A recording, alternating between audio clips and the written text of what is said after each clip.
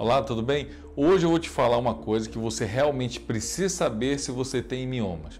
Ou se você está tendo alterações na menstruação, você menstruava ali 4, 5 dias, agora aumentou o número de dias, a quantidade de sangue, ou se está sangrando no meio do mês, é possível que você tenha um tipo específico de mioma que a gente chama o mioma submucoso. Então eu quero te convidar para assistir até o final desse vídeo para você não perder a melhor parte. Essa é uma das coisas que eu mais atendo lá na clínica todos os dias, é pacientes que chegam lá reclamando da alteração da menstruação, seja pela quantidade de dias, seja pela quantidade de sangue, ou às vezes sangramentos no meio do mês, que elas ficam apavoradas, né? Se estiver associado com dor, então pronto, começa a passar um monte de coisa na cabeça de vocês. Eu já sei, a primeira coisa que vocês pensam, poxa, estou com câncer, doutor, o que, que é isso?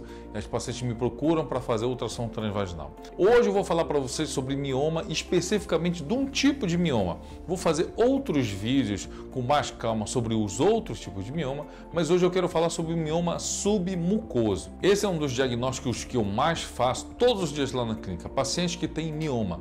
Mioma é uma das doenças mais frequentes das mulheres e que alteram diretamente a menstruação, seja com muita dor, seja com muita cólica ou na quantidade do fluxo de sangue ou às vezes no número de dias ou às vezes ter sangramentos no meio do mês. Tenha certeza que esse é um vídeo que vai te ajudar muito a descobrir se possivelmente você possa ter mioma.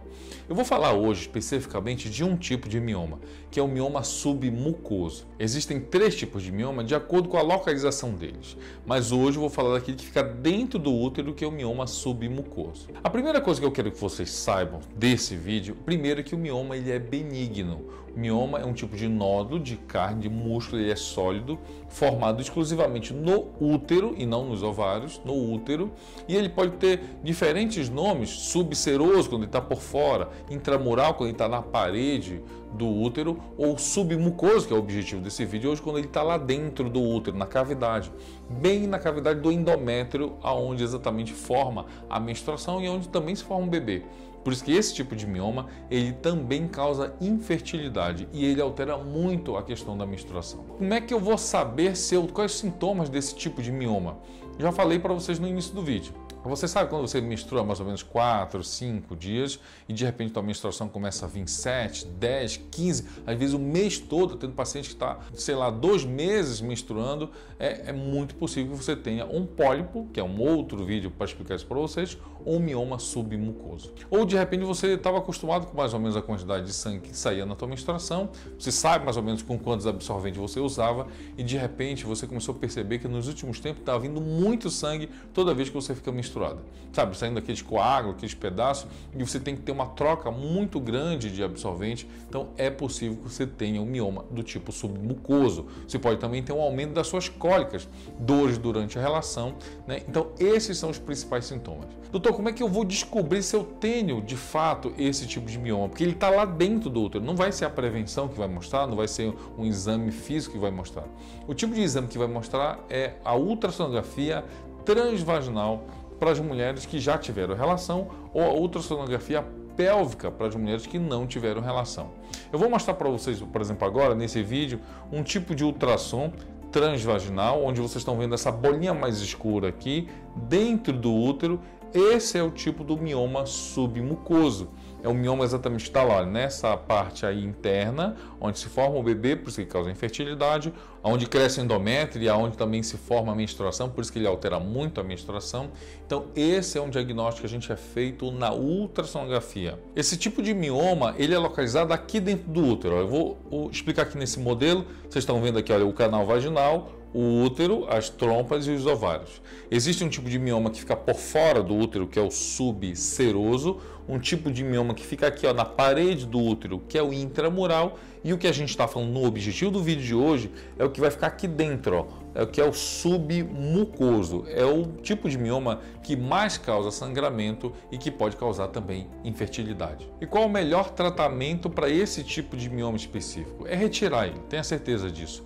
Porque ele, ou ele vai lhe causar infertilidade, porque fica no local onde o neném se forma, fica competindo ali com o bebê, podendo gerar inclusive abortamento, caso você consiga engravidar, ou ele aumenta o fluxo, aumenta a tua menstruação. Então, a retirada dele é feita por um tipo de cirurgia minimamente invasiva, feito por um ginecologista especializado nesse tipo de procedimento, que é a histeroscopia. A histeroscopia é como se fosse uma endoscopia do próprio útero.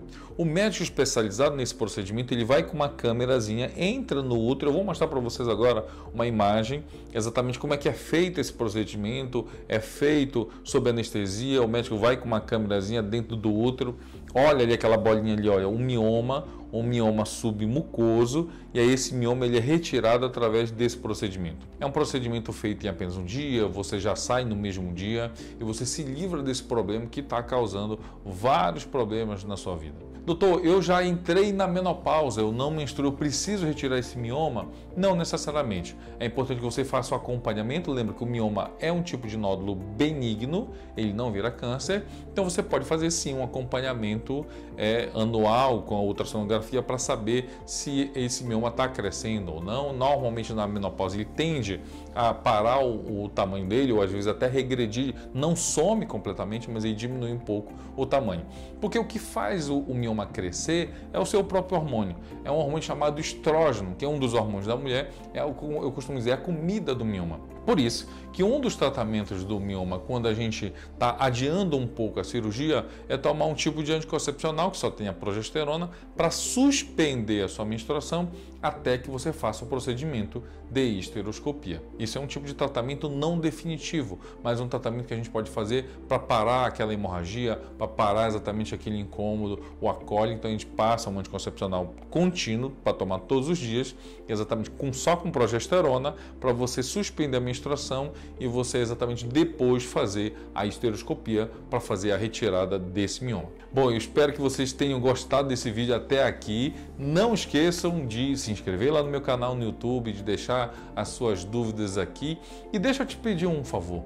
Eu quero fazer um próximo vídeo, eu estou na dúvida se eu faço um vídeo sobre adenomiose, ou se endometriose, ou se de ovário policístico.